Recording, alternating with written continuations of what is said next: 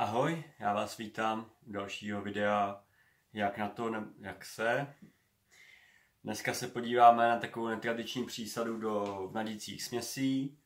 Samozřejmě lze ji použít i samostatně jako particle. Záleží, co, jakou směs si vybereme. Zároveň mluvím směs, protože se jedná o směs pro ptactvo, konkrétně pro to okrasné. Eh, já využívám vlastní směsi, jelikož jsem chovatel, takže si míchám svoje vlastní směsi. A tady mám jednu zimní, kterou teď v létě nepotřebuji. Eh, zimní směs je vlastně eh, díky tomu, že tam je větší podíl tučnějších semen, jako je slunečnice, semenec a len, a říkám, teď tu směs nepotřebuju, zbytečně by tady bylo riziko, že se mi do toho dají moly nebo něco takového. Tak ji využívám na ryby. Eh, využívám ji jako příměs do směsí tak v suchém stavu. Jednoduše to proženu akrát mlenkem a nadrobno na melu. A nebo jako druhou možnost eh, využívám ji vařenou.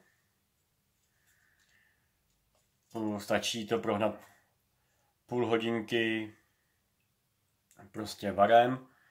Ehm, říkám, je to složení hlavně proso, je tam oves, je tam pšenice, slunečnice, semenec, pohanka a lén. A ještě lesknice.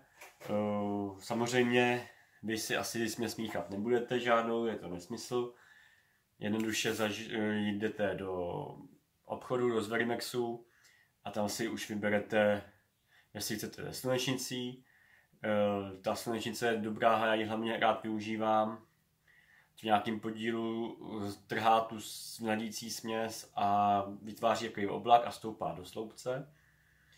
Samozřejmě pokud to budu chtít používat jako jenom partikl na zakrmení nebo na zátkování do feed krmítek, tak si vyberu směs bez slunečnice. Samozřejmě v tom obchodě jsou nějaký i cenové relace, nám bude bohatě stačit to nejlevnější, co tam mají. A záleží na nás, čím chceme s tím mířit.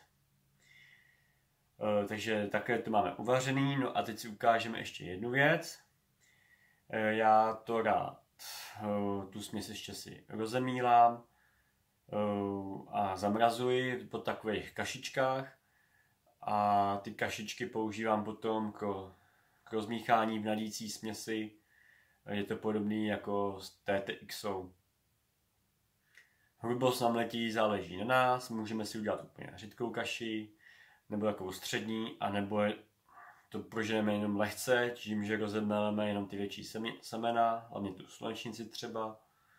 Záleží prostě na nás. No, takže to jsme si směs uvařili, já ji teď scedím, aby v ní nebylo tolik vody. A uděláme si tu kaši. Tak, směs jsem si scedil, teď si připravím klasický nějaký mlejnek, uh, elektrický. Jednoduše to tam takhle nasypem.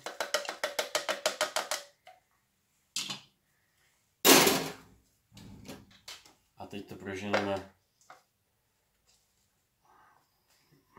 mlínkem. Samozřejmě mi chybí ještě vršek k tomu, ten mám tady. Jasně. Bezpečnost.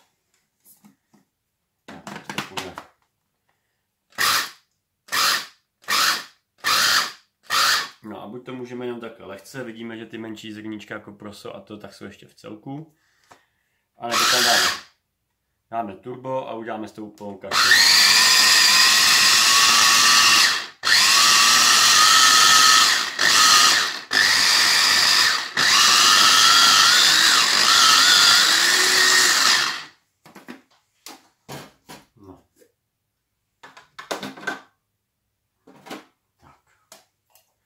Jsem si tam nechal ještě jakoby hrubší částečky, protože je léto, nechci to úplně na kaši. Takže takhle to nějak vypadá.